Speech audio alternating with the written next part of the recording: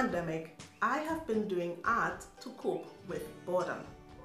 I appreciate the extra time to be creative and work on my passion. It all makes me excited.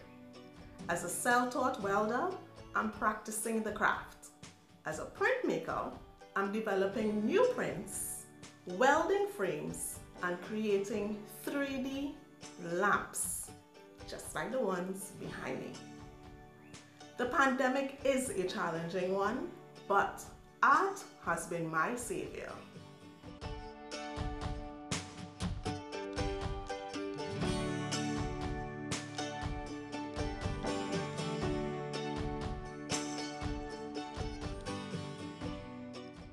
And welcome to the TTT News Special. I'm DK Roster. We are speaking with Jemima Charles, who is an Afro-Caribbean artist born in Trinidad and Tobago. She first came to my attention because of the How Do You Cope installment that you just saw. She joins us now to give us more insight into her life and work. How are you doing, Jemima? Hi, I'm great. Thanks for having me. Our supreme pleasure. Being positive during this pandemic, what are some of the things, I mean, because we would have just seen some of the things that you're involved in, but yes. welding, where, where, where, where that come out? Is that a new thing? Is that an old thing? What are some of those things that you've been doing? It's a new thing. I've been practicing welding for the past year. I would say I started April last year. My first attempt at welding was the day that the France um, Notre Dame Cathedral caught on fire. And I was really concerned about my welding ability and with the fire of that and then the heat of the welding. When, I, when my first metal pieces stuck, I was like, oh my gosh, I'm so I'm sorry for the cathedral, but I can weld. and I actually dedicated a piece to the cathedral because of that experience. Jemima, for a second, you make me feel that it's you but the thing, you know? no, sorry, no. The way, the way you link it so strongly. Yeah, it's, it's unfortunate that it happened there, but for me, it was something that was also giving me what I would say the encouragement or I don't know how it linked so so closely. It, it just it just happened. But speaking about that encouragement, what are some of the encouragements or the words or the people behind your career choices leading up to school at SCAD? Um, at the University of the West Indies, I met some great lecturers as in my undergraduate studies. Um, my mother, my mother is a seamstress um, young parents. My mom was a teenage, had teenage pregnancy. She got pregnant at 15. I have five brothers and they've always used their hand to survive. So the influence started at home first. Then they encouraged me to go to university to pursue my career as an artist. And in the undergraduate studies, I, um, I met some excellent lecturers there who inspired me um, Sarah, um, Anna Serrao as, is one of the lecturers coming to mind right now. And in one of her classes, I had a, a paper project. And the paper project led me to Japan to pursue an in, uh, apprenticeship in Japan. And after returning from Japan in the apprenticeship, I became a teacher after I graduated from university. Yes, that's the, the, the Nebuta Street Festival. Um, you're seeing images of the work. I actually assisted with creating that piece. So the love for paper started in my undergraduate studies at the university. When I returned, I had a thesis show. I created um, a sculptural lamp. It was sort of like the Chaconia in a sense, um, but after that, I started teaching and I took my students to a career fair and the person there said, you know, you, then you're an artist. You should apply for a SCAD scholarship. I, I applied and I got 50% scholarship to SCAD. It was really challenging because coming from a parents that did, did not have a lot of financial, they, they, we were struggling at the time. So I saved a lot. I got 50% scholarship. I went, I worked my tail off, and I got additional scholarships. And I returned home. And I had my first show. The images you just saw were of my first solo show. um, at the Art Society of Trinidad and Tobago in 2019. And I want to dive back into some of that, that work in Japan because some people say that it is good or their learning style, they can sit and learn and or see somebody do it. But how important was that apprenticeship for you to literally sit at the feet of masters, master. teachers, so that you can better stand on their shoulders? It was it was amazing. Um, I would say to everybody, if you can get to do an apprenticeship, um, take the opportunity. Again, that time I was a young person um, struggling to learn, to survive, to get the money to go. I had an exhibition, and my exhibition, I sold $17,000 to get to that apprenticeship. Um, and $17,000 worth of art and, and, and contributions from local people in, the, in society supported me to go to, to that apprenticeship. And it changed my life, not only experiencing another culture, but experiencing and the way artists work how communities come together in a camp, just similar to our mass camp. They have a festival camp. And the skills that I gained there, not just physical, but the skills of survival and communicating and being an ambassador for Trinidad and Tobago, actually, because they wanted to know the humidity level, what percentage of the equator your your your your, your and what what is how far is Trinidad and Tobago from the equator. So I was an ambassador. So you learn, you build, not just with um, your hands, but as a person. And I think, and I actually want to use this as an opportunity just to plug what we have here in terms of mentorship with the masters. It is a yes. fabulous opportunity whenever the opportunity comes again. If you can, yes. uh, whoever is looking, listening to this, is something I think you should dive into with both hands and all of your heart. But some okay. artists, Jemima, try to yes. defy an easy initial description and say like you can't define me or you can't define my artistry but you call your aesthetic culturally integrated neo-caribbean art expand yeah. that definition for me please it all goes back again to the apprenticeship um, it started as when I was there, they wanted to know who I am, where I'm from. I'm from Africa. And then I had to explain to them, you know, you're coming to the Caribbean, you know, Jamaica, Bob Marley. Yes. Do you know Trinidad and Tobago steel pan? Yes, because we actually have an influence in the steel pan in Japan. So I had to break it down to them and then they came straight to Trinidad. And they asked me so much about my identity. And as a Caribbean woman, that I, when I returned, I started exploring my Caribbean identity. So even in SCAD in Atlanta, they asked me so much about my identity that I, can I I infused my work into my Caribbean aesthetic, my Caribbean identity. And then I started expanding it into cultural um, identities. We have so many cultures in Trinidad and Tobago that I couldn't settle on one. So I infuse um, the culture of the Japanese experience, I infuse Trinidad local cultural experiences that is so influential in so many linkages. So my work has cultural linkages. And in the work, you would see a king head. It's like an elongated head. This elongated head is an is an, a symbol of my identity. Um, because when I started going into my cultural identity, yes, you'll see images of the heads, you see images of masks, you'll see images of people being crowned with the king and queen head. It's a representation of accepting your identity. It's a it's it's accepting your culture. It's you're crowning yourself. Yeah. So the work you're seeing now is from the Art Society show, and every piece has a mask, a crown, or a head within it as a symbol of cultural integration.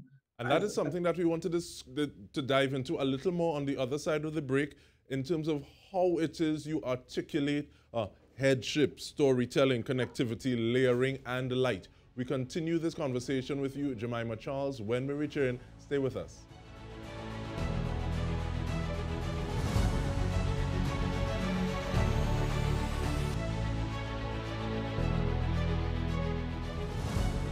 Welcome back. We are speaking with artist Jemima Charles.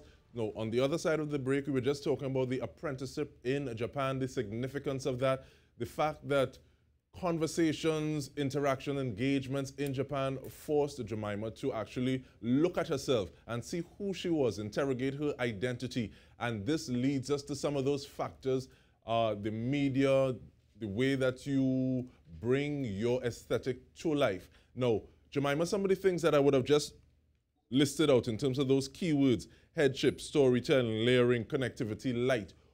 How important are they to what it is you do? And uh, if those were the headings, give me a little verse and chapter after each of them. Thank you. Um, I would say that these key five keywords developed over a course of years. Um, connectivity is where I link my work to the viewer.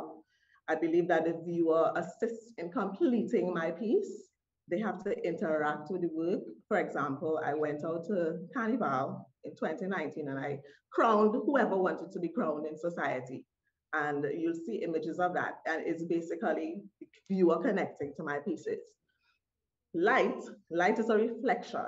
It's a bridge between present, past, my, my history, and future. So the light is a projection and a reflection. Layering, if you look at my pieces, they're layered.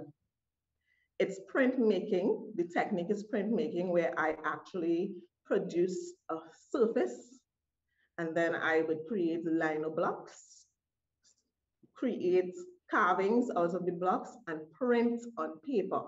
So it's a layering and layering of prints on top of the paper. Then I would weld the frame and, and apply the skin. I call my prints the skin. So that is where the layering comes in the multiple techniques and methods to come up with one final piece. Storytelling, we grew up, I mean, in Trinidad, our parents, we love to talk.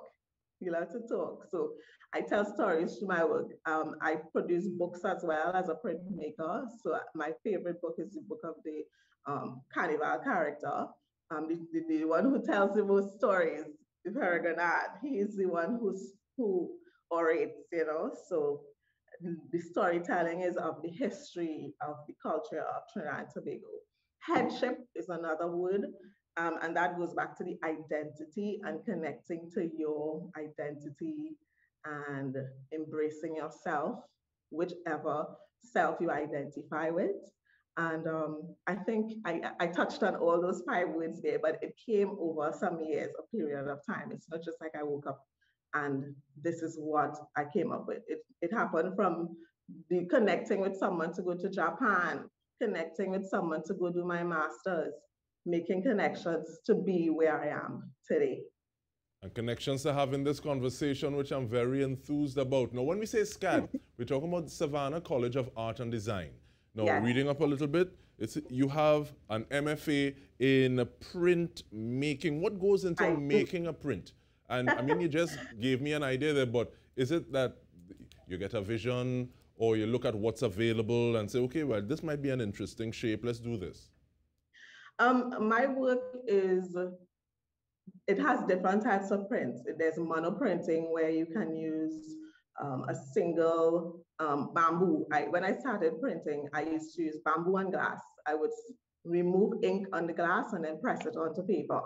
And then I graduated into wood cuts. So you would carve wood and then you'd print it. I think I sent you an image where um, th there's a lino cut of a crown and then the print of it. So when you're working with the prints, and when I'm starting my pieces, the first thing comes to head is a vision. I don't, it's an idea, a concept. So I'm a conceptual artist as well. So I have an idea and then I would draw it and then sculpt it and produce it. This, this piece is actually um, of my thesis show where I had um, lights.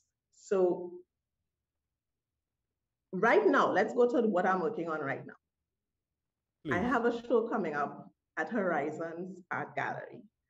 I, ca- I can't share images of those pieces as yet for contractual reasons because it's it's going to be re- revealed for the show. But this show is total local. with the pandemic and having to be home and not being able to travel, I decided to focus on local. So one of my pieces would be a pan lamp. It's a fully, the show is entirely on lamps. So it's a pan lamp, an ibis lamp, coconut trees, those sort of local images. So what I would do is I have the idea and the concept. I would then look for images and inspiration. I would go out and take images of palm trees, coconut trees, anything that inspires me locally, draw it or photograph it, then build it. So I hope that I, I explained to you the process. It's not just I'm sitting and I'm whatever comes. Sometimes it's like that, but a lot of times it's a process.